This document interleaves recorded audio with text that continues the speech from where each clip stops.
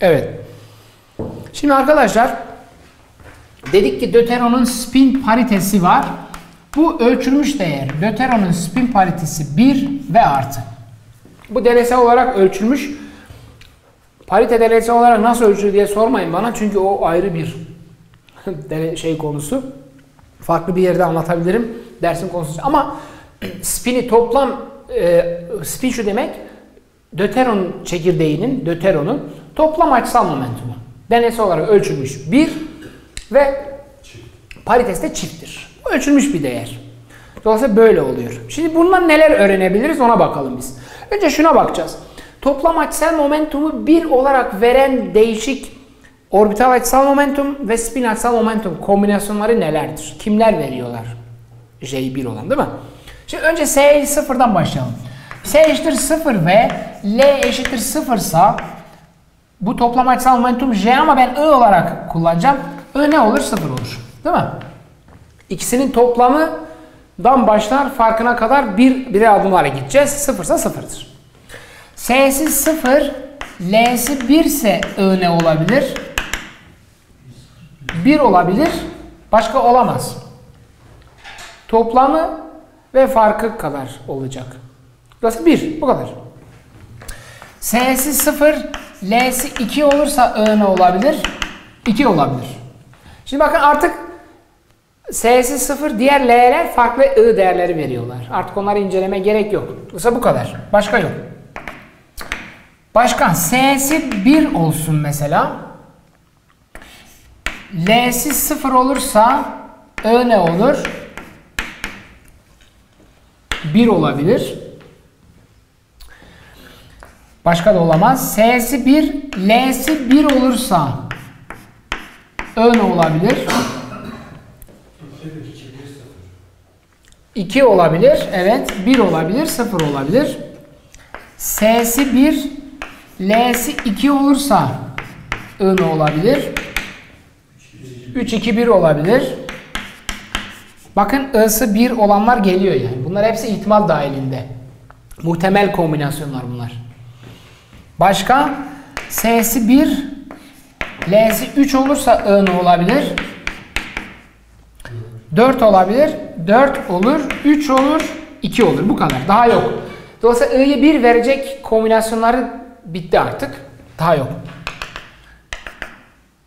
Peki mesela S'si 1 bölü 2 olan da olabilir değil mi? S'si 1, biz onları incelemiyoruz. İnce, bunları yazmayacağım. Sadece S'si 0, 1 ve 2, 2 de en son mesela. Bakayım biraz daha açıklayacağım. Mesela S'si 2, L'si sadece alıştırma olsun diye yani. Böyle uğraşmak aynı bilmece gibi zevkli bunlar. Ee, eğlence olsun diye. Sıfırsa I'si ne olur? 2 olur değil mi? Peki S'si 2, L'si 1 sene olabilir. I 3, 2, 1 olabilir. 3, 2, 1. Bir, biri verecek hala şeyler var, ihtimaller var ama ama bunlar hiçbiri sayılmayacak az sonra. Az sonra sebep. Gelecek sebebi. S'si 2, L'si 2 olan ne olabilir? Efendime söyleyeyim. 4 olabilir, 0 olabilir. 4, 3, 2, 1, 0. 4, 3, 2, 1, 0. Fakat şimdi gelelim. S'si, S, muhtemel S'lere önce bakalım. Ondan sonra buradan devam edip etmeyeceğimize bakalım. Bu böyle devam eder. İsterseniz S eşittir 3'ten tekrar başlayabilirsiniz ama sadece 0 ile 1'ler aslında dikkate alacağız. Şundan dolayı.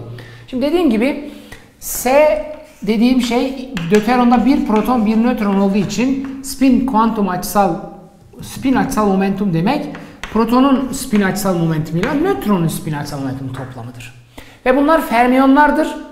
Dolayısıyla SP eşittir 1 bölü 2, SN de 1 bölü 2'dir. Spin kuantum açısal sayıları budur. Bu başka bir şey yok.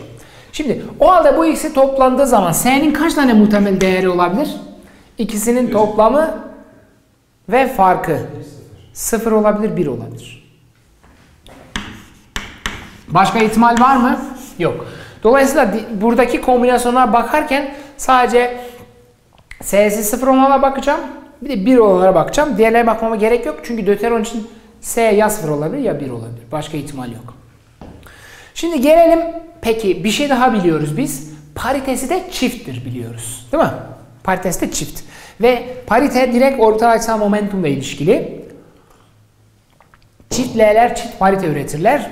Küresel harmoniklerde biz onu göstermiştik. YLM fonksiyonlarında o çıkıyor.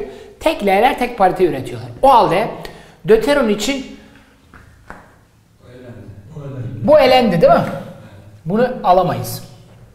Bu olabilir mi? Bu da elendi. Bu olabilir. Kuantum mekaniksel olarak muhtemel kombinasyonlar bu olabilir. Bu çift pariteyi verir. Şey tek parite verir. O da elendi. Mesela bu da olabilir. Bir de şu. Ee, başka yok. Başka yok. Bu olabilir, bu olabilir. Dolayısıyla S'si 1 olabilir. Başka yok değil mi? Evet. Bu kadar. Dolayısıyla L eşittir 0 ve L eşittir 2 katkıda bulunabilirler. En fazla. Başka bir ihtimal yok.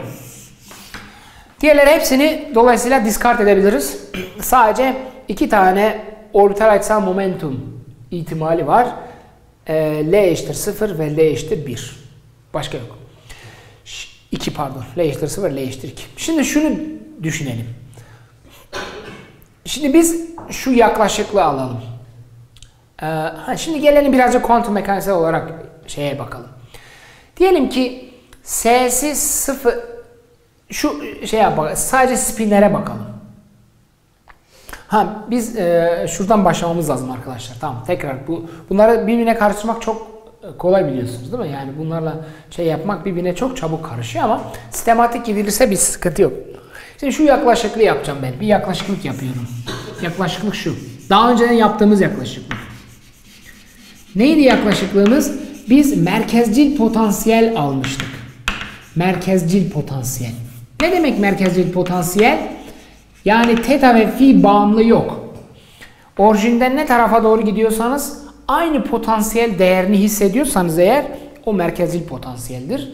R bağımlılığı vardır sadece. Merkezden olan uzaklığa bağımlı var. Ama yön bağımlı olmayan potansiyel merkezil potansiyel.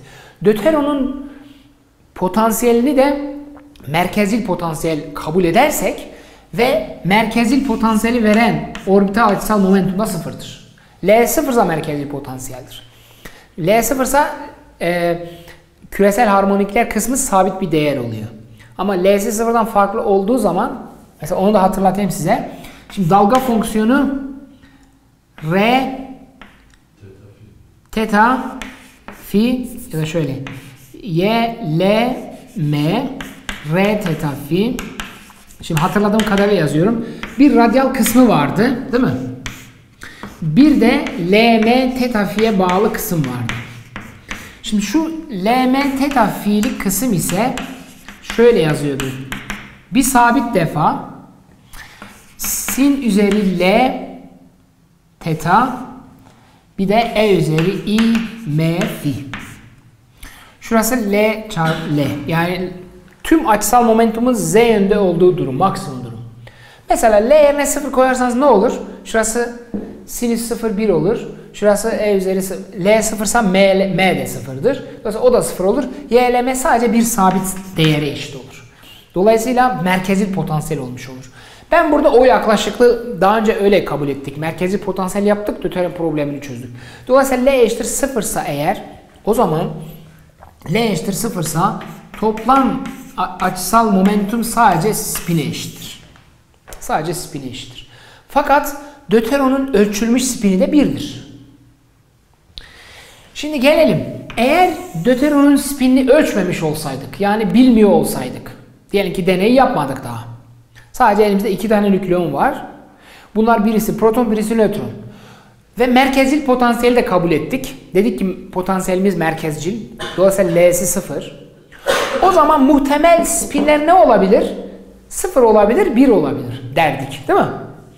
Eğer S'si sıfırsa arkadaşlar ML, MS ne olur? O da sıfır olur. Peki buna tekabül eden durum vektörümüz nedir? Şimdi spini sıfırsa eğer birisi up diğeri down olabilir. Ya da birisi up diğeri down olabilir. O zaman buna tekabül eden kuantum mekaniksel durum vektörümüz normalize edilebilmesi için 1 bölü karekök 2 ile çarpacağız. Şu dalga fonksiyonu olabilir. Up down eksi down up. Peki eğer s'si 1 olmuş olsaydı bu sefer ms 1 olabilir, 0 olabilir, eksi 1 olabilir. Değil mi? Ve e, şöyle yazayım ben.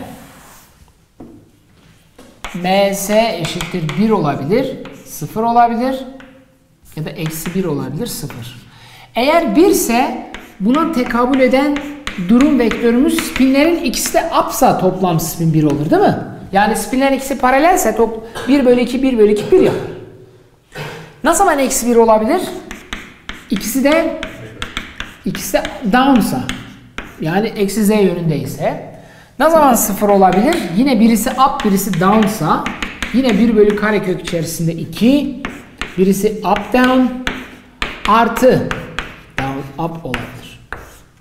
Dolayısıyla e, Deuteron'un spinini ölçmemiş olsaydık hiç sadece teorik olarak tahmin etseydik spinlerini merkezil potansiyel kabulünü kullanmak koşulu ile L'si 0 olmak koşulu ile spini ya 0 ya 1 diyecektik.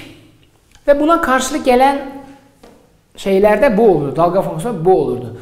Şimdi ne olurdu? Bu dolayısıyla biz şöyle yap yapacaktık. Diyelim ki bu ne yapar? Yüzde do dolayısıyla bu iki nükleonun spinleri yüzde 25 ihtimalle S eşittir 0 olurdu. Yüzde 75 ihtimalle de S eşittir 1 olurdu. Yani diyelim ki döteron orada duruyor. Biz ölçtük diyelim. 100 tane ölçüm yaptık. 25 ölçüm sonucunda S'yi 0 bulurduk. 75 ölçüm sonucunda S'yi 1 bulurduk. Ama böyle olmuyor. Deney yapıyoruz, 100 deney yapıyoruz. Yüzünde de hep S eşittir 1 çıkıyor. Bu ne demektir? S eşittir 0 olduğu zaman bağlı sistem olmuyor. S 1 olduğu zaman ancak Deuteron bağlı sistem oluyor. Yani nükleer kuvvetler spini paralel olmayı tercih ediyorlar.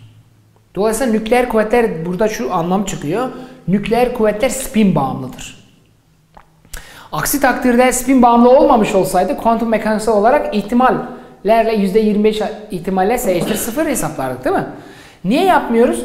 S eşittir 0, S eşittir 0 olduğu zaman ne oluyor biliyor musunuz? Artık bağlı bir sistem olmuyor. Öyle durumlar olabilir. Diyelim ki bir protonla bir nötron S eşittir 0 olan bir durumla kombine ola, olabilirler. Ama eğer S'ye 0 olarak devam edemez. Çünkü hemen o aradaki bağla, e, bağlanma enerjisi onları bir arada tutacak kadar yüksek olmaz. Tekrar ayrılı artık döteron diye bir şey olmamış olur. Eğer varsa elimizde bir döteron mutlaka S'si 1 olacak şekilde çiftlenmişlerdir. Nükleer kuvvetler spine bağımlıdır deriz ondan dolayı. Ve potansiyel kısma bir spin kısmı da eklememiz gerekiyor. Biz buradan nükleer kuvvetlerin spin bağımlı olduğunu anlıyoruz. Dolayısıyla artık e, bir radyal bir kısım olacak potansiyelin. Artı bir de spine bağlı bir kısım. Burada bir sabit var. Burada bir sabit bir terim var. Ve spine bağlı bir kısım SP skaler çarpı SN diye potansiyele böyle bir terim ekliyorlar. Spin terimi deniyor buna. Tüm nükleer etkileşmelerde spin terimi eklenmesi gerekiyor. Peki bunu nasıl ölçebiliriz? Mesela ben bunu ekledikten sonra bazı ihtimallerle mesela bunu ölçmeye çalışalım arkadaşlar. Daha doğrusu hesaplamaya çalışalım. Bir kere SP ve SN'yi aynı anda biz şey yapamıyoruz, ölçemiyoruz. Çünkü arada belirsiz ilişkisi var. Ama S kareyi ölçebiliriz. Şimdi S eşittir SP artı SN'dir. Dolayısıyla bunun karesini aldığımız zaman protonun spinin karesi artı nötronun spininin karesi artı iki tane SP skaler çarpı SN olur. Buradan SP skaler çarpı SN'yi yalnız bırakırsak skaler çarpı SN eşittir 1 bölü 2 S kare eksi SP kare eksi SN kare olur. Artık bunun değerlerini, muhtemel değerlerini yazabiliriz mesela. Şöyle ki S karenin S'si 1 ise mesela 0 sa vesaire e, değişik değerler var. Ama önce şuradan başlayalım. SP ne olabilir? Muhtemel değerleri 1 bölü 2 olabilir değil mi? Başka değer yok SP. Ama SP karenin öz değeri nedir? SP çarpı SP artı 1 H çizgi kare değil mi? Öz değerlerini, karesinin öz değerlerini hatırlayalım. Yani bunu biraz daha ayrıntılı yazabiliriz. Çünkü SP karenin SP kare S üzerine etki ettiği zaman SP çarpı SP artı 1 H çizgi kare SP MSP olabilir. Öz değeri bu. Dolayısıyla SP de 1 bölü 2 olduğu için SP karenin öz değeri ne olacak? 1 bölü 2 çarpı 1 bölü 2 artı 1 3 bölü 2 3 bölü 4 H çizgi kare olabilir. Aynı şekilde SN karenin de öz değeri 3 bölü 4 H çizgi kare olabilir. Dolayısıyla bunu yazarsak eğer bu nükleer e, spin kuvvetler bağımlı olduğu için potansiyele yazdığımız zaman şöyle yazacağız. 1 bölü 2 S kare eksi 3 bölü 4 H çizgi kare eksi 3 bölü 4 H çizgi kare. Dolayısıyla eksi 3 bölü 2 H çizgi kare olur. 3 bölü 2 H çizgi kare olabilir. Şimdi gelelim. Eğer S eşittir 0 olursa SP skaler çarpı S'nin değeri ne olabilir mesela? Eksi 3 bölü 4 H çizgi kare olabilir. Değil mi? Eğer S eşittir 1 olursa bu sefer SP skaler çarpı SN ne olabilir? Sizce ne olabilir? Buraya 1 mi koyacağız? Hayır. Öz değerini koyacağız buraya. Bunun öz değeri S çarpı S artı 1 H çizgi. Dolayısıyla burası 2 H çizgi kare. 2 eksi 3 bölü 2 1 bölü 2 H çizgi kare. 1 bölü 2'ye çarparsak 1 bölü 4 H çizgi kare olur. 1 bölü 4 H çizgi kare olur. Gibi. Dolayısıyla e, nükleer potansiyele bir spin terimi eklediğimiz zaman terimin şekli böyle olmalı. Ve onun muhtemel değerleri de bu şekilde hesaplanabilir. Size sadece birkaç tane e, muhtemel örnek durumu verdim. Şimdi arkadaşlar ancak dediğim gibi e, bunu kabul ettik. Bütün hesaplarımızı ona göre yaptık. Şu ikisi olabilir dedik. Bunu da almadık. Çünkü bu merkezil potansiyel olmayan kısım oluyor. Eğer L eşittir 2 olursa demek ki merkezil potansiyel değil. Şimdi ilk defa burada şimdi test edeceğiz. Diyeceğiz ki acaba bizim kabul ettiğimiz merkezil potansiyel ne kadar doğru? Çünkü eğer potansiyel merkezil değilse sadece L eşittir 0 değil, L eşittir 2 de bir miktar katkı sağlayacak değil mi? Dolayısıyla bunun bir test edilmesi gerekiyor. Şimdi ilk defa bunu test edeceğiz. Bu ikisini unutmayın. L eşittir 0 da olabilir, 2 de olabilir. Ama merkezil potansiyelde sadece 2 olabilir. O zaman bakalım bazı deneysel gözlemlerle bu uyumlu mu ona bir bakalım. Döteron için nasıl oluyor? Önce manyetik momentle başlıyor. Döteron'un manyetik momenti de hesaplanmış. E, potansiyel terimini eklerken niye çarpım şeklinde yapmak istiyor? Şöyle mi? Şunu. Çünkü bir şekilde spinleri etkileştirmeniz gerekiyor. Karelerini de. Karelerini de alabilirdik. Başka kombinasyonlar da yapabilirdik. Ama böyle yaptığımız zaman deneysel olarak ölçülmüş sonuçlarla uyum içerisinde oluyor. Yani tamamen uygun bir şekilde yapıyoruz yani. yani belli bir sebebi yok. Karşısında daha çok aşağıya çıkacak. Evet. Başka var mı sorunuz arkadaşlar? Geçelim mi? Şimdi manyetik momenti ölçeceğiz. Döteron'un manyetik momenti var. Deneysel olarak ölçülmüş değer var. Bir de hesap sonucu var. Dolayısıyla bu ikisini karşılaştıracağız ve ilk defa L'lerin e, merkezi potansiyel yaklaşıklığının ne kadar doğru olup olmadığını Döteron için test etme imkanımız var arkadaşlar. Şimdi onu yapalım. Önce manyetik momenti tabii tanımlayalım. E, manyetik moment önce klasik olarak manyetik moment nasıl tanımlanıyor ona bakalım. Diyelim ki bir klasik klasik yüklü bir parçacığımız varsa ve bir dairesel yörünge üzerinde bu Q yüklü R yarıçap Q yüklü parçacığımız klasik parçacık derken hani kuantum mekaniği olmayan parçacıktan bahsediyoruz. Böyle bir daire üzerinde hareket etsin. Dolayısıyla bu belli bir süre hep aynı noktadan geçecek, geçecek, geçecek. Dolayısıyla bu bir e, hareketten büyük olduğu için bir akım üretecek değil mi? O akımımız akımın ortalama akımdan bahsediyoruz. Ortalama akımın tanımı neydi? Yük bölü zaman. Zaman burada bir tur atması için geçen süre tabi bir periyot. Çünkü her bir periyotta Q yine aynı noktadan geçecek. Dolayısıyla burası periyot olacak. Ee, ama ben periyot yerine şunu yazacağım şimdi biraz sonra. Bunun şeyi var. Çevresi var. Çevresi 2 pi r gittiği yol. Bir de hızı v olsun. Dolayısıyla periyot t olur. Dolayısıyla periyot yerine 2 pi r bölü v yazabiliriz değil mi? 2 pi r dairesel e, çemberin çevresi. V de parçacığın hızı olmuş olsun. Dolayısıyla yazarsak şurası 2 pi çarpı r olur. Şurası da v de üste gelir. Bu akım olmuş olur. Şimdi manyetik moment ise şöyle tanımlanmıştır arkadaşlar. Mü harfiyle gösterilir. Böyle bir yüklü parçacığın manyetik momenti mü eşittir. Akım çarpı dönülen dairenin alanı A. Niye böyle tanımlanır diye sorma hakkınız var mı? Yok. Çünkü bu bir tanım. bu bir tanım. Tanımları tanım niye böyle de- deme hakkımız yok. evet. Şimdi bakalım arkadaşlar. Ee, I'yi yerine koyacak olursak Q çarpı V bölü 2 pi R çarpı alan pi R kare. Ve manyetik moment orbital açısal momentumla ilişkilendireceğim ben biraz sonra. Manyetik moment orbital açısal momentumla ilişkilidir direkt. Hemen bakacağız, göreceğiz o ilişkiyi zaten. Pi'ler sadeleşir, R'lerden bir tanesi sadeleşir. Ne kalır geriye? Mü eşittir Q V R bölü 2 değil mi? Q çarpı V çarpı R bölü 2. Şimdi sağ üst ve altı kütleyle çarparsak pay ve paydayı kütleyle çarptık.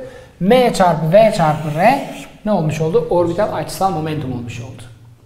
Dolayısıyla mü eşittir Q bölü 2M çarpı orbital açısal momentum. Eğer Z yöndekini ölçersek Z bileşik.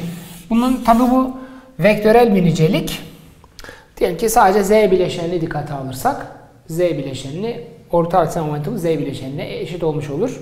Burası da manyetik momentin Z bileşeni olmuş olur. Burada Q'dur. Şimdi bu formülün aynen kuantum mekaniğinde de doğru olduğunu kabul ediyoruz. Peki nerede biliyoruz? Yine deneysel sonuçlar. Deneysel olarak teyit edildiği için. Eğer bu bir elektronsa arkadaşlar, önce elektrondan başlayalım. Elektron için tabi birazcık değiştireceğiz. Sadece birazcık değişecek. O da şu. Pay ve paydayı H çizgiyle çarpıyoruz.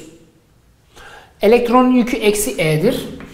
Dolayısıyla elektronun manyetik momentin Z bileşeni eksi E çarpı H çizgi bölü 2 tane ME çarpı elektronun orbital açısal momentum Z bileşeni. Bir de buraya bir G kat, katsayısı gelir. Buna G factor denir. G faktörü. O da şu.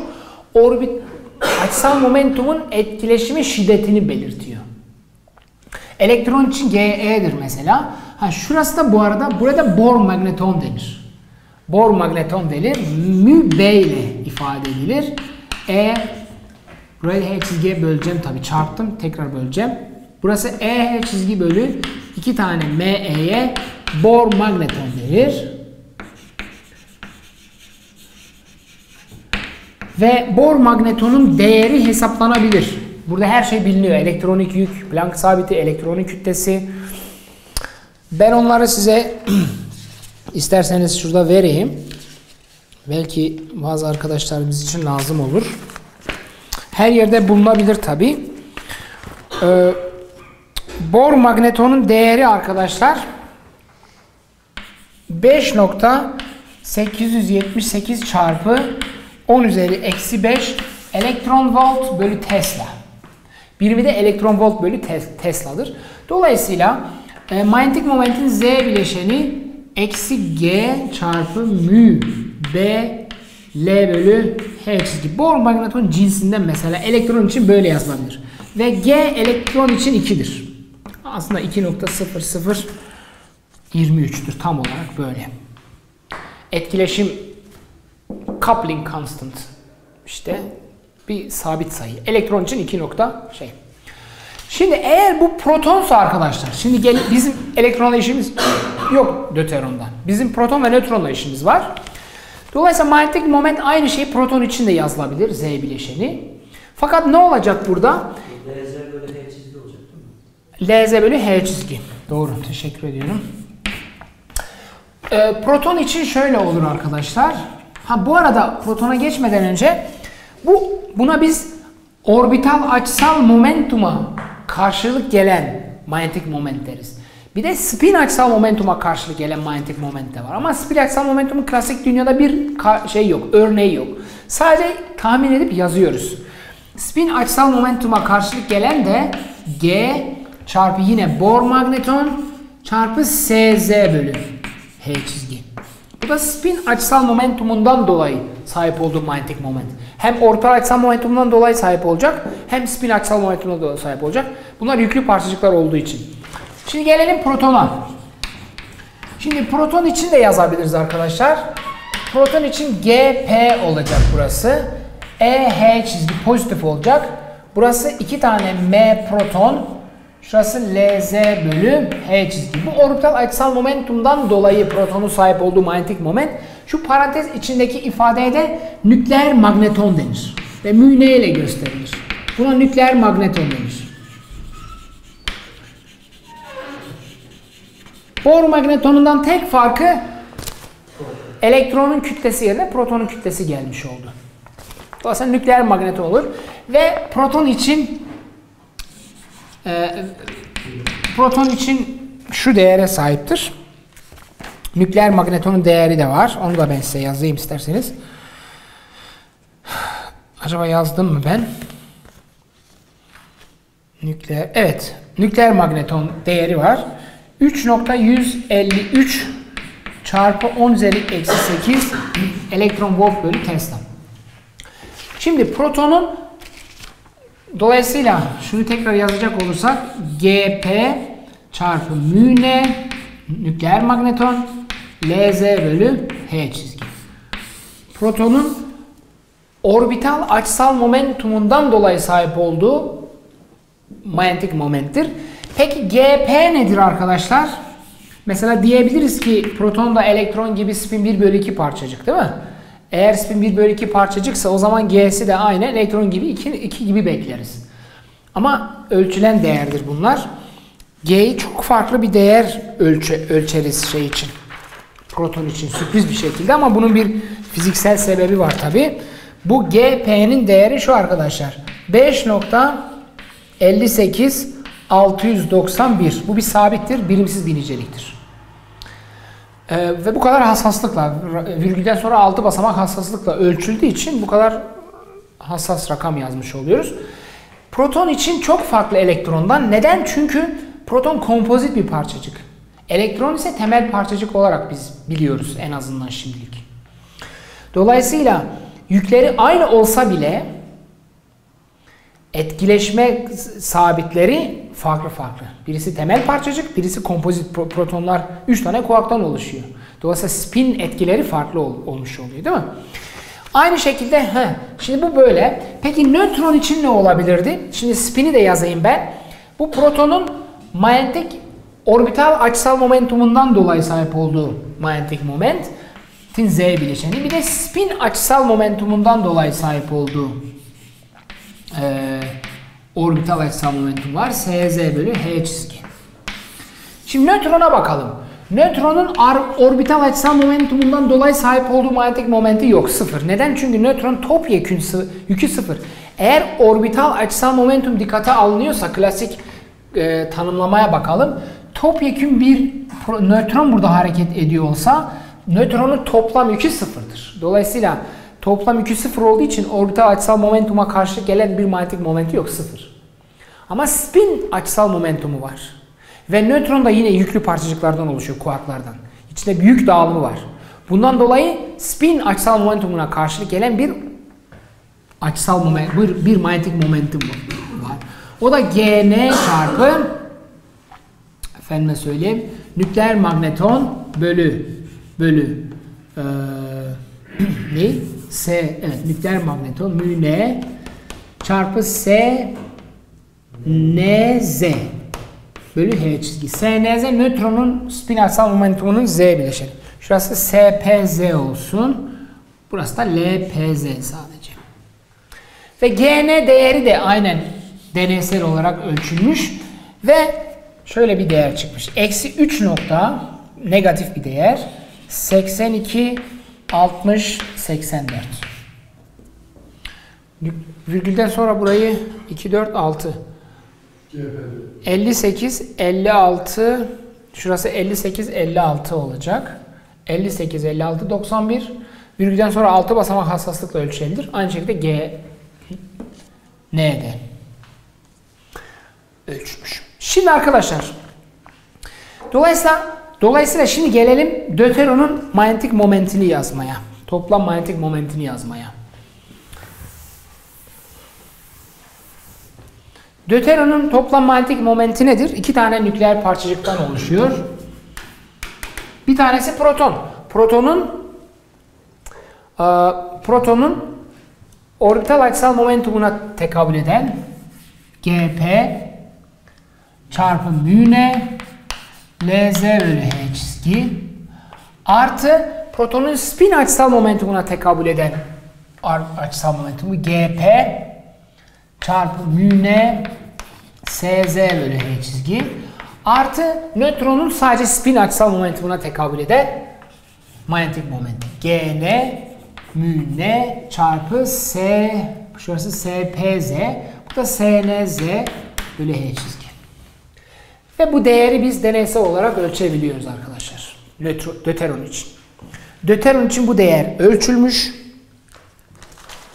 Size ben ölçülmüş değeri söyleyeyim.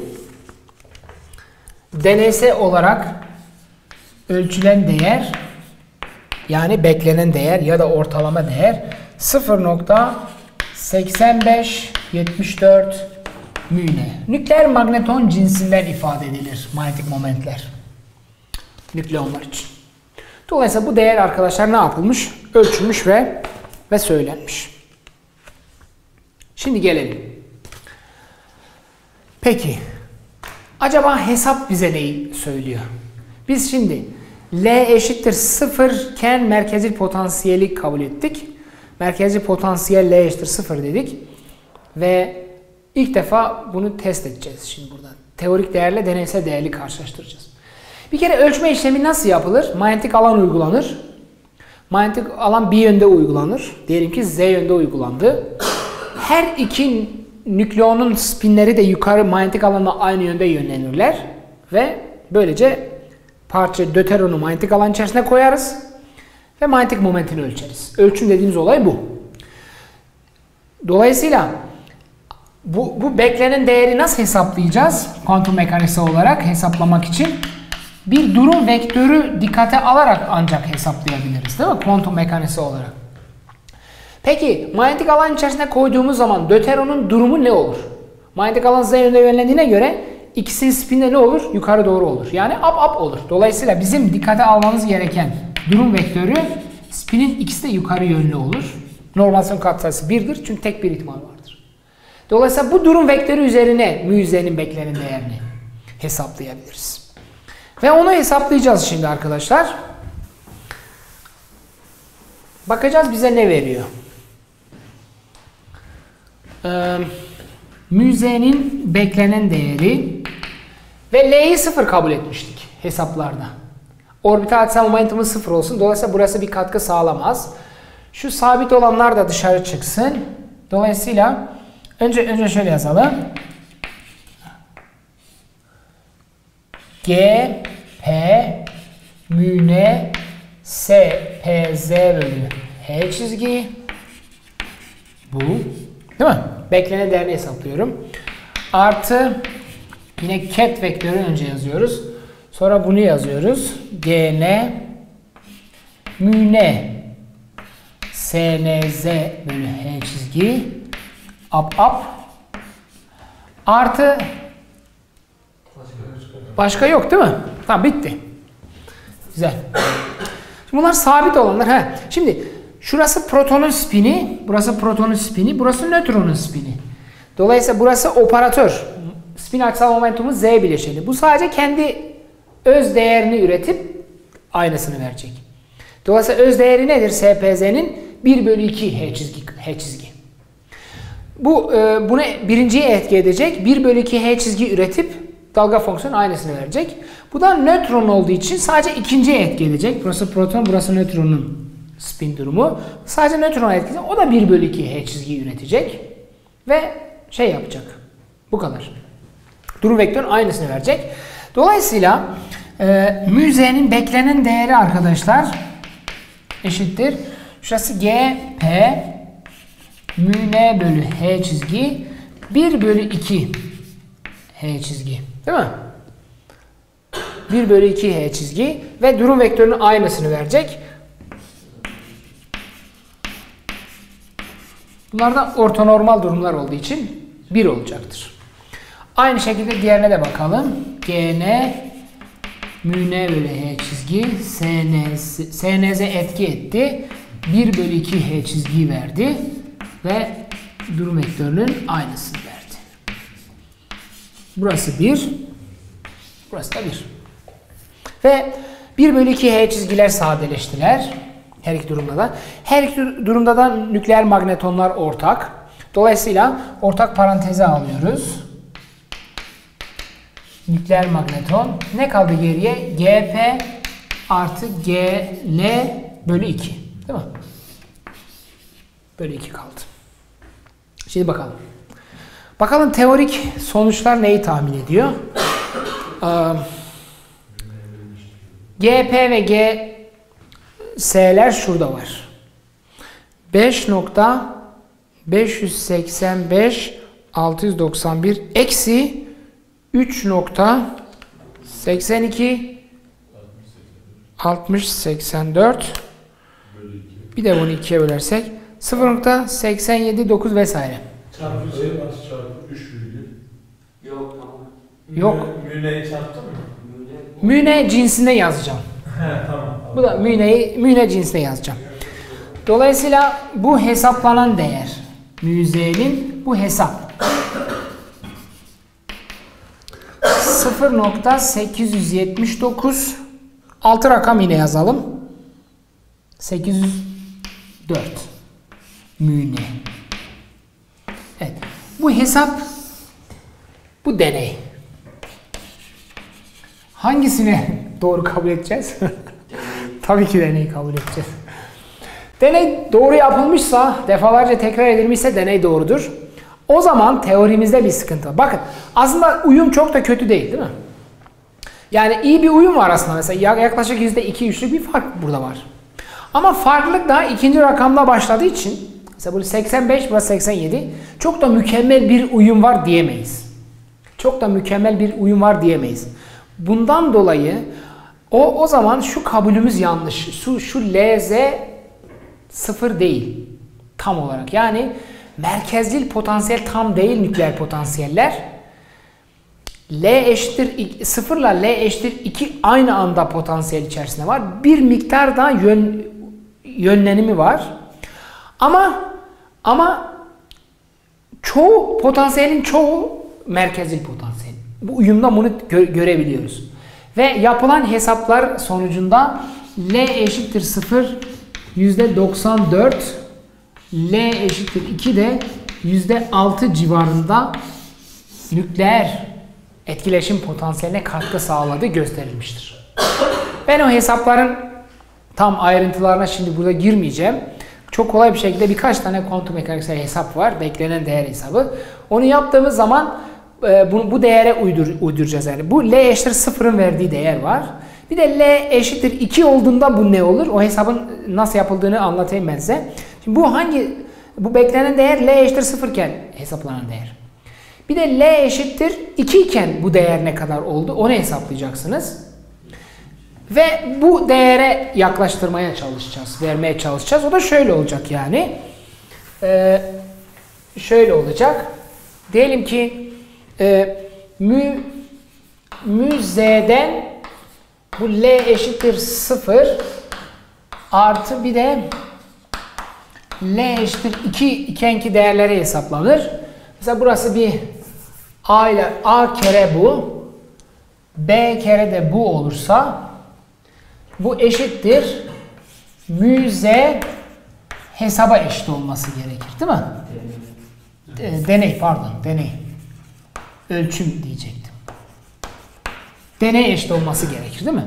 Bu hesap değerleri. L eşittir 0 iken ki e, manyetik momentin Z bileşenin beklenen değeri ile L eşittir 2 iken beklenen değerini hesaplayacağız. Fakat bunda A def biraz A katkısı kadar gelecek. Burada B kadar katkı gelecek. Hepsinin toplamı buna eşit olacak. Peki A ile B arasında bir, bir şey daha ilişki bilmemiz lazım. Çünkü iki bilime bir denkleme daha ihtiyacımız var. Ama şunu biliyoruz. Bu normalize edilebilir olmalı. A'nın karesi ile B'nin karesinin toplamı 1 olmalı. Çünkü burası %100 doğru olduğu için. Bir de ikinci olarak bu var. A ve B reel sayılar olduğu için mod karesini almada gerek yok. Karesiyle e, kareler toplamı 1, 1. Bu hesap yapıldığı zaman A eşittir 0.96, B eşittir 0.04. Ee, ya bu doğru ya bu doğru. Muhtemelen bu ikinci yazdığım doğru olabilir. Şurası %96 %4 oluyor. Çok büyük bir ihtimalle. Dolayısıyla arkadaşlar yapılan hesaplar siz dolayısıyla bunu yapabilirsiniz. Mesela L eşittir 2 iken tabi L eşittir 2 olduğunu durum vektörünü bilmeniz gerekiyor. Orada küresel harmonikler de işin içine giriyor. Ama yapılabilir bir şey yapılıyor. Şimdi dolayısıyla ilk testimizi yaptık ve L eşittir 0 değildi ama çoğunun 0 olduğunu biliyoruz L eşittir. Merkezil potansiyel çoğu çoğu çoğu e, potansiyelin çoğu merkezci. Sadece bir kısmı. Bir son bir şey daha var. Orada da aslında merkezil potansiyel olmadığının diğer bir kanıtı da elektrik kuadropol moment hesaplarken ortaya çıkıyor. Şimdi elektrik kuadropol moment şudur arkadaşlar. Onu da son olarak yapıp şey yapıyoruz. Ee, dersi bitiriyoruz.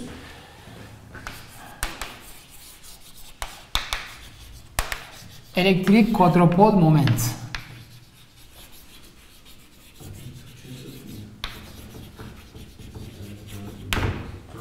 Türkçesi bu. Şimdi diyelim ki bir yük dağılımı olsun mesela. Ee, bir koordinat seçiyoruz kendimize. Şurası x ekseni, y ekseni, z ekseni olsun. Diyelim ki şöyle bir bu yük yoğunluğu homojen olabilir, olmayabilir. Diyelim ki bir hacim elemanı seçtik dv kadar. Değil mi? Bu dv'nin sahip olduğu yük yoğunluğu rho olsun. Merkeze olan uzaklığı da r vektörü olsun. Ve elektrik kuadropol moment şöyle tanımlanıyor arkadaşlar. Birim yükle çarpıyoruz. I çarpı J eşittir integral 3 tane xi xj eksi r kare delta ij ve tüm hacim elemanı üzerinden dv integre ediyor. Bu elektrik kuadropol momenti tanımı. Yine dediğim gibi bu bir tanımdır. Ama fiziksel yorumu şöyledir. Eğer bir yük dağılımı, eğer bir yük dağılımı küresel olarak simetrikse, yani e, yükün yük dağılımının teta ve yönlenimi yoksa, ya diyelim ki bu tarafa gittiğinizde yük değişimi nasılsa böyle gittiğinizde yük, yük, yük değişimi aynı, böyle gittiğinizde yük değişimi aynı ise eğer dolayısıyla Q eşittir sıfır oluyor. Yani elektrik kuadropol moment sıfırsa yük küresel olarak simetriktir denir. Dolayısıyla tam şekli yük dağılımının şekli mesela diyelim ki z yöndekini ölçtük diyelim. Z bunun x, y, z bileşenleri olabilir. Z'yi ölçtüysek burada Q eşittir 0 çıkar. Çekirdeklerin elektrik kuadropol momentleri hesaplanıyor. Eğer elektrik kuadropol moment yük dağılımı çekirdeğin şeklini de bize veriyor aslında. Eğer böyleyse Q sıfırdan küçükse, küçükse eğer e, yük dağılımının şekli böyle elips şeklinde oluyor. Buna şey deniyor. Bunun bir ismi var. Buna ne deniyordu? Prolate. Oblate. Buna oblate denir. Çekirdek oblate şeklindedir denir. Eğer quadrupole moment sıfırdan büyükse buna prolate denir. Dolayısıyla e, çekirdeğin yük dağılımının e, küresel olup e, simetrik olup olmadığının bir göstergesi de ölçüsü de elektrik kuadropol momentin ölçülmesidir. Mesela diyelim ki diyelim ki çekirdeğimizin yük dağılımı şey olsun. E, teta ve fi'de bağımsız olsun. Hangi yöne gidersek gidelim aynı yük miktarını ölçüyorsak eğer. Ama bakın R'ye bağımlı olabilir. Yani mesela diyelim ki bir yük dağılığı var. Kabuk kabuk şeklinde düşünün mesela. Birinci kabukta yük biraz az, ikinci kabukta yük giderek artıyor olabilir. Elektrik kuadropol moment yine sıfır çıkar. Eğer yön bağımlılığı yoksa. Eğer yön bağımlı yoksa mesela diyelim ki o zaman şöyle olur değil mi? O zaman integral rho x kare dv eşittir integral rho y kare dv o da eşittir integral rho z kare dv bu da eşittir 1 bölü 3 rho çarpı r kare dv olur değil mi?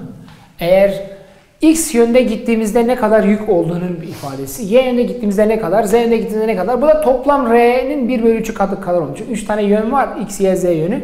Böyle olmuş olur. Böyle olursa q'nun sıfır olduğunu görüyoruz mesela. Diyelim ki şurayı hesaplayalım. E çarpı q x, x'i hesaplayalım. İntegral eğer x, x ise eğer i ve j'de x'i 1'dir. Dolayısıyla burası 3x kare. Eksi r kare. Delta ij de 1'dir. Dolayısıyla şurası değil. Mesela e çarpı q x y'yi hesaplayalım. x y'yi hesaplarsak eğer burası integral 3 x y ise i 1 j 2 demek oluyor. Dolayısıyla burası 3xy delta ij 0 olur. Bu Kronecker delta. Dolayısıyla burası 0 olur. Sadece burası 3xy'dir dv'dir mesela. Mesela böyle.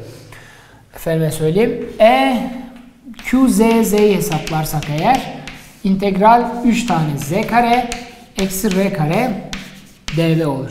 Dediğim gibi eğer yük e, yükün yön bağımlılığı yoksa mesela şu yukarıdaki ifade geçerlidir. Bir de rho var. Rho'yu da bir yerde unuttuk. Burada rho yük dağılımı olacak. Bir de rho var. Şurada rho ile çarpılıyor arkadaşlar. Evet yük yoğunluğunun R bağımlı var burada. Rho. Dolayısıyla burası hepsi birbirine eşit olacak. Şurası 3 tane z kare rho dr, dv r karenin 1 bölü 3 katına eşit olacak. Şu, dolayısıyla parantezteki ifadenin açıkça şu yukarıdaki ifade sağlanıyorsa parantez içindeki ifade sıfır olduğunu görüyoruz zaten. Dolayısıyla elektrik quadrupole moment bir yükün dağılırken simetrik olup olmadığının bir ölçüsüdür. Ve, ve Döteron için bu ölçülmüştür arkadaşlar. QZZ Döteron için ölçülmüş ve sıfırdan farklı bir değer bulmuş. 2.88 çarpı 10 üzeri eksi 27 santimetre kare bulmuştur. Çok küçük, e, dolayısıyla pozitif, e, prolate. E, çekirdeğin dolayısıyla şekli, ismi bu şekilde olur. Prolate ama elektrik kuadropolma çok küçük, sıfıra çok yakın.